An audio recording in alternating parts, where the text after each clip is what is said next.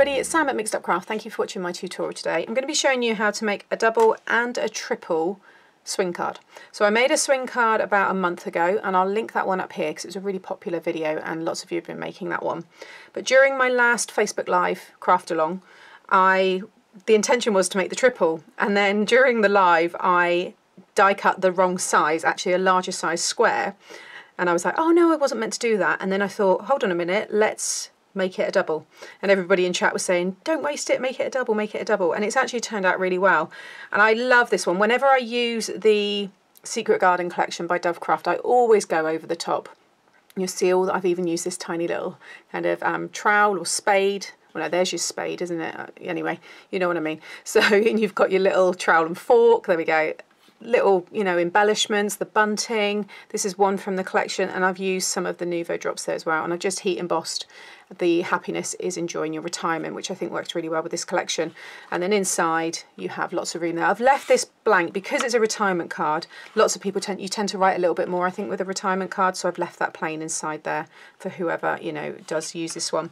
And then this was the triples. This was this was my you know kind of intended card that I wanted to make, and it's using the really cool for the love of stamps Hammy birthday um, stamp set. And then inside there I've stamped and finished it all off. So during the live I didn't finish them back. I'd done all all of everything, you know, it was all in, it was done in that sense, but it wasn't fully decorated. So some of you that watch the live will know that I've changed this because this was green, this was stamped in black. I just wasn't really feeling it, so I've gone for this, which is all still from the collection. And then I just thought I'd show you quite a, I guess this is quite young, more for children, and with the stamped images, so you get that kind of effect. I love the bunting in there, that's all die cut. And then this one here is using a collection, so a lot of it's done for you, so I just fussy cut. And these pieces I actually fussy cut, then stuck them to some thicker cardstock and then cut them out again. So it actually gives you a really nice thick kind of embellishment to work with. But both of them I love. So today I'm going to show you both again, but I'm going to use the Paper Posies by Dovecraft. And also, because this is 5 by 7 you need to obviously die cut these apertures. Now, the width of your card is 7, so a lot of people that have a standard size die machine, you wouldn't be able to fit this through. But what I've done, you'll see here, is it's connected on the back. And I've done that just to show you that you can do this using a smaller die machine. And then if you have your large A4 die machines, you'll see here, this is just a solid 5x7 card because that one you just put through your larger die machine. Okay, so I'll do that again today just so that, you know, everybody can really make this card. And yeah, let's get into the tutorial. Okay, because I'm going to be doing two cards today, I'm going to try and keep the video quite short. So I've already done, you know, quite a few bits and pieces already, and I will speed up lots of the decoration. But uh, this is the Paper Posies. Loads of you have this. It's a beautiful collection. It has so many like matching embellishments and decoupage pads and things like that. So that's what I've used. And then here you can see I've just got a variety of some of the matching accessories that go with it. I'm not entirely sure you know what ones I'm going to use yet but I thought I'd just bring them all out. I've also taken out all of the extras from the decoupage pack. I fussy cut these because I think I'm going to use them on the triple and I've also got the wood embellishments which are beautiful because I may use them on the double. So what you will need depending on what size die machine you have okay so if you've got a small standard six inch wide die machine okay then you will need one piece of five and a half by seven card and along the five and a half inch side you want to score at half an inch okay? That's the front of the card. Then you'll just want a piece of five by seven. And once we've die cut that front piece we will then just stick this onto there like so. You can stick it inside or outside. Because I've done that one outside I'll probably stick this one inside and then I can decide which one I prefer when I go to make it again. Then for the inside piece because we attach this at the end this is a piece of 10 by 7. And along the 10 inch side you want to score at 2.5, 5 and 7.5. But you could also use this, this could have already been a 5 by 7 card blank. And if that's the case, make sure it's bang on 5 by 7 and again just pop it in and you'll just need to score at 2.5 or 7 and 7.5. Okay, so that's if you're making it as a deconstructed one. If you've got a larger A4 die cutting machine, just to make it a bit easier, all you'll need is two five by seven card blanks. So there they are, you know, as you buy them in the shop. This one, I've just put my mats and layers on, which I'll talk you through in a moment. And then this is that inside piece. So again, along the 10 inch side, you just want to score at two and a half and seven and a half because it will already have that five inch score line. If it doesn't and you're cutting it yourself, then you need to add that in as well. As always, all these measurements will be in my blog, but hopefully, you know, I've just, like I said, done all those bits and pieces just to keep it, you know, the videos short as I can. The mats and layers are my standard ones. So if it's five by seven, I always do four and three quarters by six and three quarters. And then on this one, you'll see I've done the four and three quarters by six and three quarters with the like coral colour. And then I've done four and a half by six and a half with the pattern paper. Now, one quick thing I need to say that I did say in the video, if you're doing mats and layers on this, you want to use paper. Don't use a cardstock because you're going to be die cutting through obviously more layers of card. So for example, the paper posies is 150 GSM. You want around that or even lower if possible. Now if you've got one of like the Gemini machines, you've got your metal shim, that will cut through anything. That cuts through thick acetate, so you'll probably be okay. But do bear that in mind. So this is paper on both of these, even that coral as well and I've gone and cut that for the insides but I'll do that again with you you know explain those sizes and stuff in a moment. This one here I want to be let me just check. So this one is going to be my triple. So it's up to you whether you want to do a triple or a double. So for the triple one I want to cut these three circles one two three and you'll see there you can use circles, squares, rectangles. It's entirely up to you. And if you haven't already joined the Mixed Up Crafters Facebook group, head over there because already so many ladies and guys are sharing their versions from watching the Facebook Live.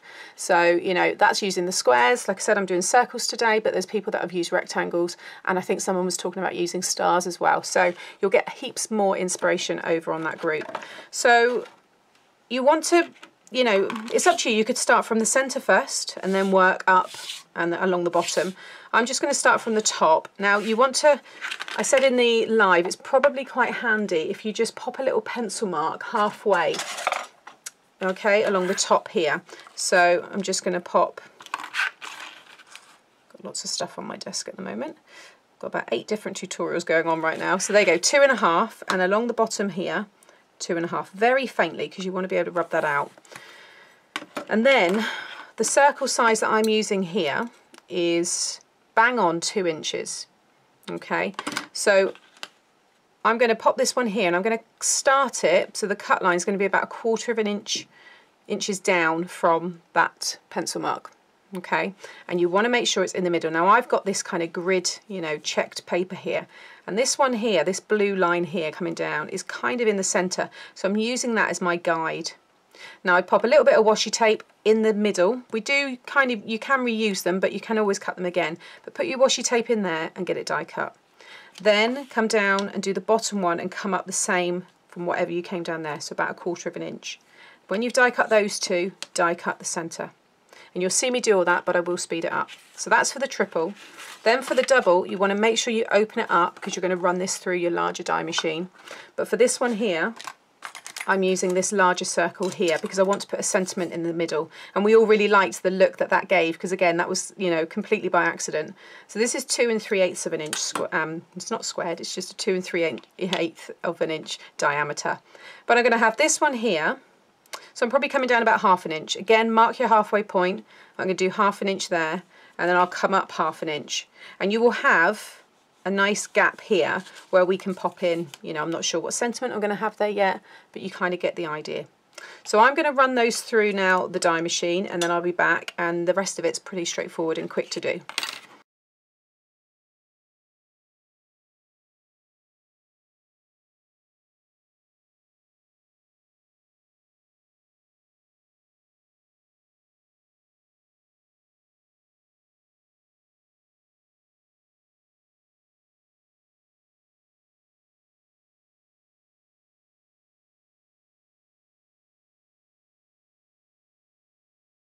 Okay, so I've got my two circles for the double and then I have the three there for the triple. Now keep all of these pieces because you will use them again. You might end up cutting them a little bit smaller, but I'll explain that in a moment.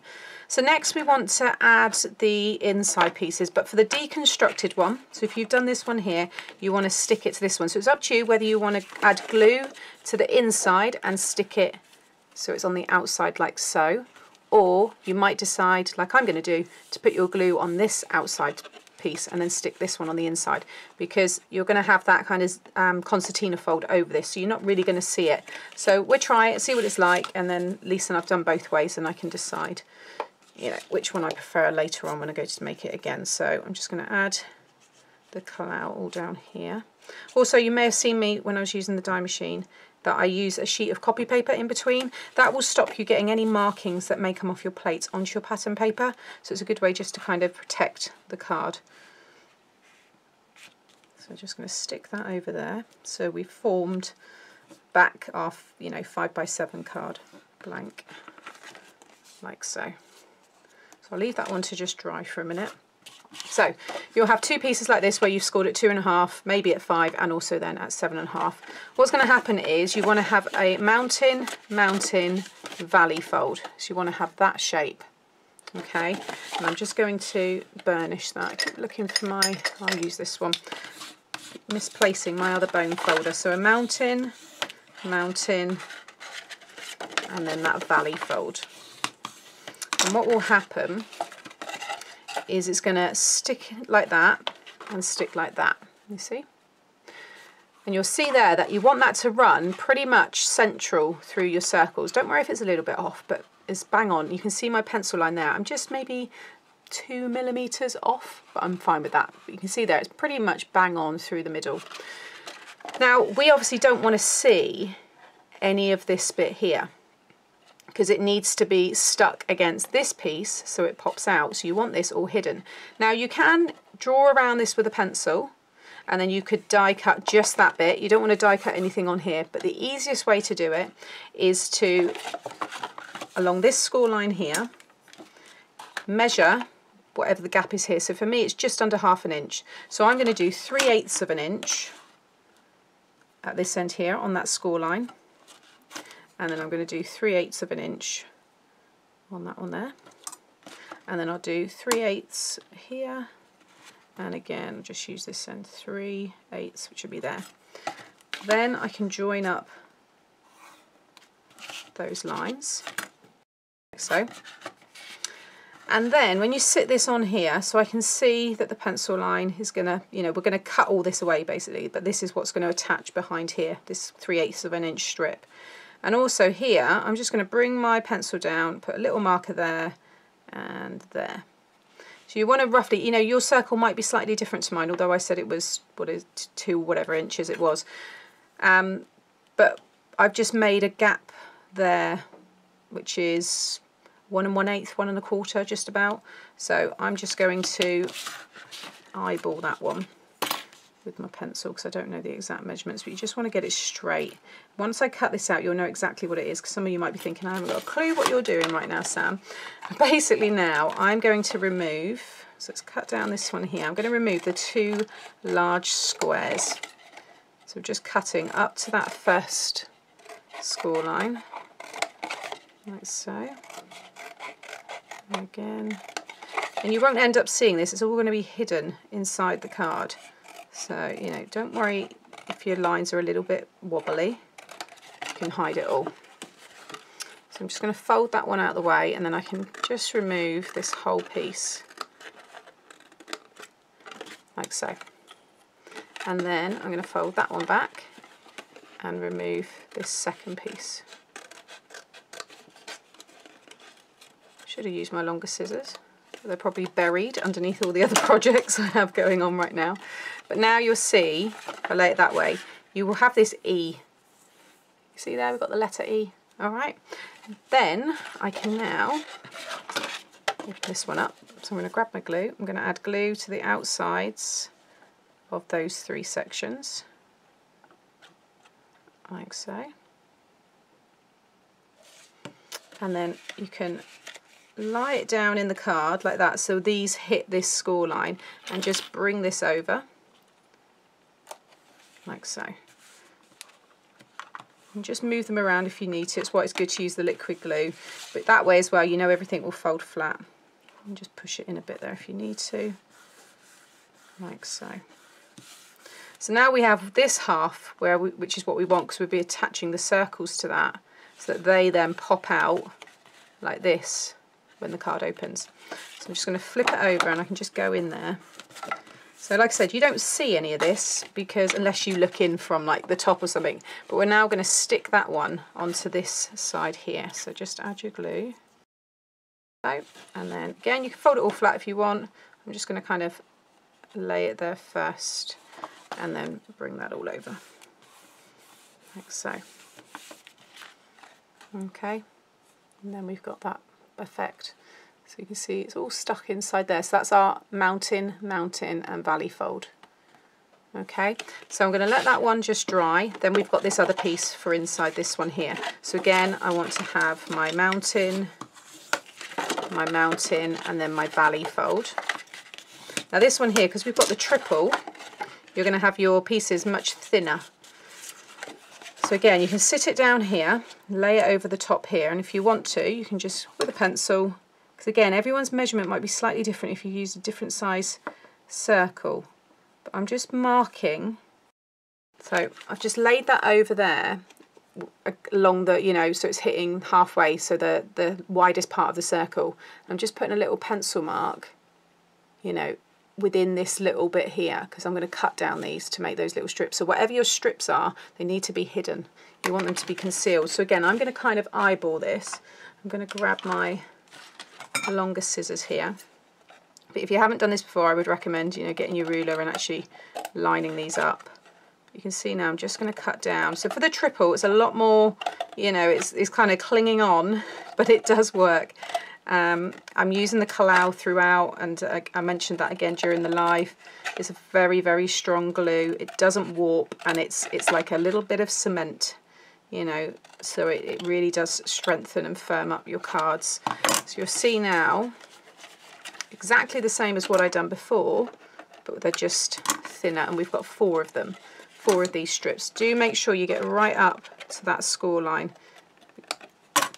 Okay, because if they start to fold up with you, then it's because you haven't gone kind of up to the, um, yeah, the score line there.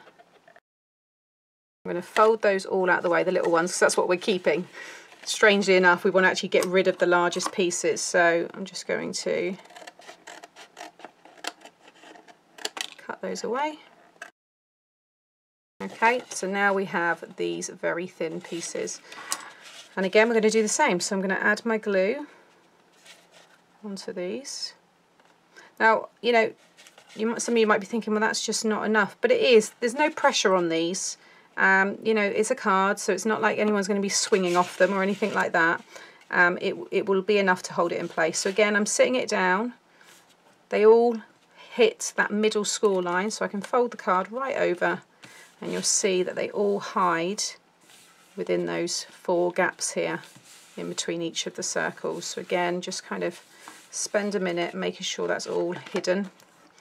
Turn it over, so again you can just go in there and make sure they are stuck down and then I can add my glue now to this half and then again just kind of tack it over onto that side and then fold the whole thing flat.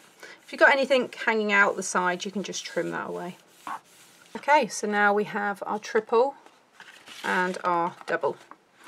Next I'm going to go on to this one now. Now if you want to you can reuse those pieces exactly the same size, stick them on there and you know go for it. But what I would say is that this was my um, my prototype and this is using the exact same sizes and it just catches you imagine that's in the envelope you've given it to that person they go to open it can you see look it's, it's just catching.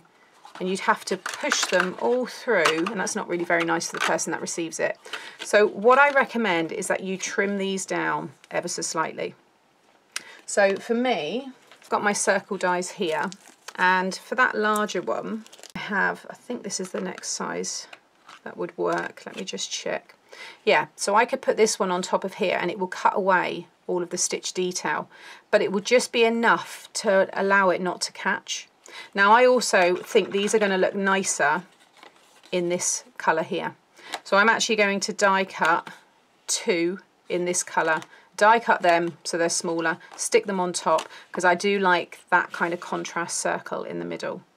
So I'm going to get those prepared in the moment in a moment and then I'm going to do the same for these three here. So I've got them there. That's the original size. Sorry, that was the original size. But I've got one that's slightly smaller. And again, I'm going to die cut it all in this colour here. And I'm going to make them all slightly smaller. So you will have a very small white ring around all of these and the ones there. So I'm going to get that all prepared and then I'll be back. Okay, so I've got all my pieces there. So now, when I pop this one on here and stick half of it, can you see we've just got that ring around there? And I just think it just gives you a bit of a, a just a better finish and it just allows the card to flow better and open and close nicely. So you won't, you know, definitely won't have any catching. Now you do want to stick only half of this. So I'm just going to kind of lay my finger across where that roughly is, like so. And then make sure that's straight, pop it on there. You just want to make sure you've got the same ring width all the way around. that one's just sticking there. You're going to do exactly the same with the triple one.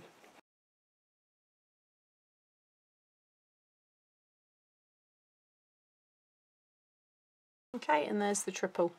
So now it's the fun part of decorating. So I will speed this up, but just to give you a rough idea of what I'm doing, I did go ahead and cut these three from one of the pattern papers, and I just think it's going to look so nice because it matches the papers perfectly and I'm going to have those three right in the middle. So I'm not actually going to have a sentiment on the front of this one. It may just be a nice little note card, just something to just send to someone. I might just stamp inside just because. So I just think that looks really nice as it is. I might put some bunting. I am partial to a little bit of bunting, but again, I'll probably add that along the way, but I'm definitely sticking with those three. This one here is a little bit different because I've got more room. Now you don't want anything to catch, so they're probably not going to work. They can clip underneath, but I don't think it looks as nice, so I won't use the wooden ones. Might maybe put one inside, but I do have more of the paper kind of flowers here. So you could have them overhanging on this side because that's not going to interfere with the mechanism. Can you see when it opens and closes? So that one could maybe work along the bottom there, but I'm still not 100% sure with it. So I'm going to have a little play around. I've also got some hearts here. Maybe have a heart there. Um, I might stamp something. I do quite like that happy birthday, but I think it needs to be framed with this same kind of um, coral colour. I'm going to have a play around now and I'll be back when they're all done.